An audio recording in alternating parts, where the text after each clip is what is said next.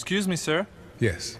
But what would happen if, for some reason, we ignore somebody unlocked 100% of the cerebral capacity?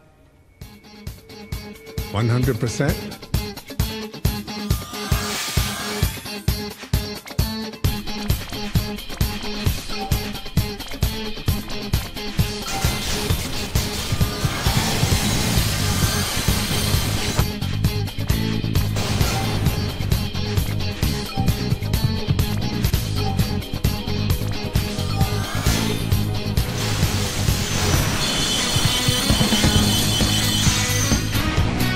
Hold up.